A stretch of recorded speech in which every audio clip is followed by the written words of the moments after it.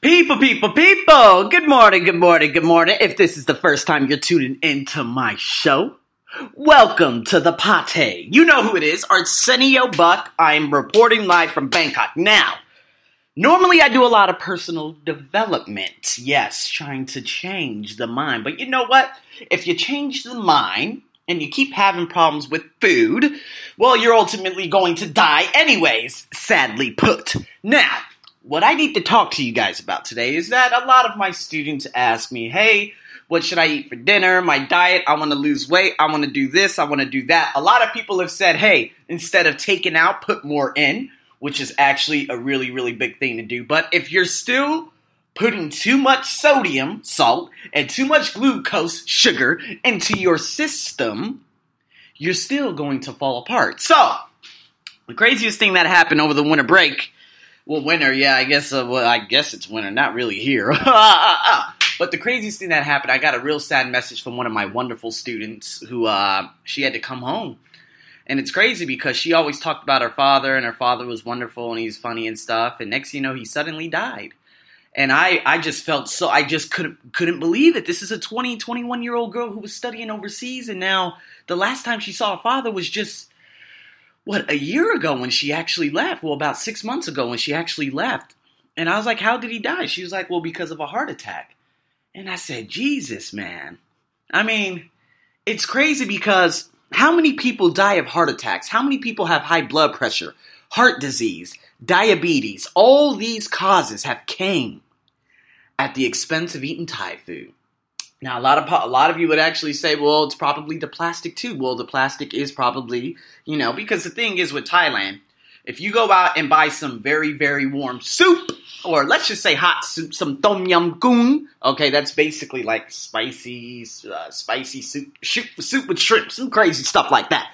Or if you end up buying something that is just basically hot food in general, and you put it into one of those plastic bags, just a plastic bag? Well, a lot of people in a lot of cases have shown that when plastic is actually warmed, it it like releases these sort of uh, inhibitors into the food. See, it's kind of like the people who burn plastic on that. I, I, forgot what island it is, but it's in India, somewhere in the Pacific. No, not in the Pacific. God damn it, it's somewhere near like Sri Lanka. And they burn plastic, and this plastic goes into the air. And you know what? if you literally smell and inhale plastic all day, like what's happening in China, they're on red alert right now because of all the smog. Guess what? You're gonna get cancer ultimately. And guess what kind of cancer it's gonna be? Lung cancer. So, if you do that with food, you put it into a plastic bag, you take it home and you eat it, you're actually eating some stuff that's very, very dangerous for your system. So, one thing you can actually do is by changing it and just taking glass with you everywhere, a glass Tupperware. A lot of you would say, "Oh no, I don't want to carry that." Well, guess what? We'll get cancer. God damn it. Uh, so listen. That when that story hit me, and my students kept asking me, I'm like, okay, check this out, guys. Let's talk about dinner today. I don't want to talk about breakfast. I don't want to talk about all. Yes, Thai food is delicious. I understand. Yes, okay. Yes, Tita. Yes, Thai food is good. Okay, it's good. I love it but you can't eat it all the time. Now, if you want to cook your own Thai food, you know what you're putting into your food, right?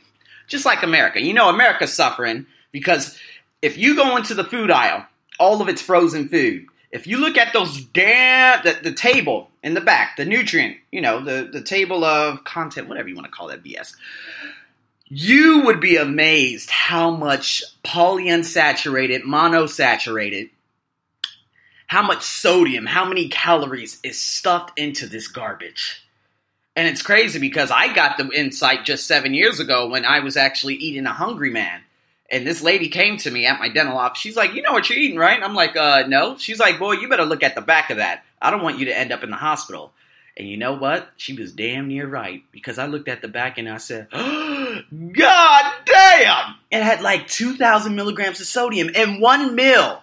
Our daily intake should be between 1800 and 2200, so I could no longer eat salt for the rest of the day. Oh my goodness. So listen, guys. What you can do, okay because i told i told this is on my blog too and there's actually some stuff i actually uh i would recommend you guys following dr mark hyman because he is the best. He actually opened my mind up to a lot of different things. Now i'm not gonna be that ultimate healthy person. Oh gluten-free blah blah blah blah blah blah blah we gotta live too. Oh yes i got my cheat meals but don't have a cheat meal twice a day for the whole week. That's like 14 times a damn week and that's up to 56 times a month. That's crazy. So, what you need to do is listen to me because I am your black Dr. Oz, okay? All right, so first and foremost, let's talk about dinner today. Now, of course, my my student yesterday, I kept telling her I was going to do the blog, do the blog. I never did it. I said, you know what? I'm actually making a promise. I'm making a commitment, and I'm not even 100% behind it. This is bad. I'm not even abiding by my own rules. I'm going to make it right now. Let's do it. Boom! And I did it, and I'm doing it now. So, on days that I have to do a lot of traveling, have to do a lot of teaching at companies and stuff like that, I need to prepare my meals in the morning, okay? Now, for instance, one of my basic household meals. Now, a lot of you, I know you're going to eat rice at least once uh, once a day, right? So for dinner, stay away from it. You know what I do? Get get you some Bertolli. Okay, the brand is Bertolli. Some extra virgin olive oil. Okay, buy you some of that. Okay, a lot uh, now on the American Heart Association that I actually posted in the link in my blog. Uh, they actually say, uh, you know, try switching out. What is it? What is it? Coconut coconut oil with vegetable oil. Listen, vegetable oil is terrible too. Olive oil. Why? Good fat. Okay. You're gonna use that. You're gonna fry. You're gonna make you cut up some pieces of lean chicken. You could buy it in Tops. You could buy it in Tesco. You could buy it in uh, Big C in America. You could, if some people in America are listening to this, you could buy it in Walmart. Okay, just look at the back and just make sure there aren't any additives because man, Americans like to do that crazy. Sh- I don't know why. Uh, in Australia, you can buy it at your Woolies, your Woolworths. They say they call it Woolies. Okay, you got Coles out there. You got a goddamn butcher out there too.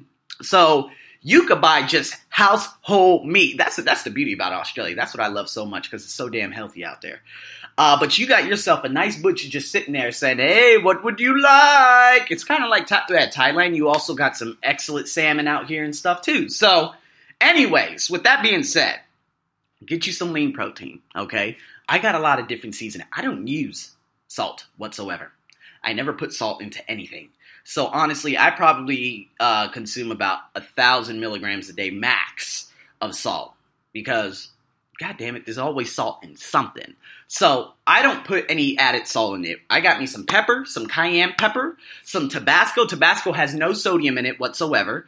Or some kind of sauce. Just look at it and just make sure that you know what you're kind of putting into. What's in the sauce in general again, if you go to Tops and you go to the sauce area, I recommend Tabasco Chipotle. That has a nice little tangy taste to it.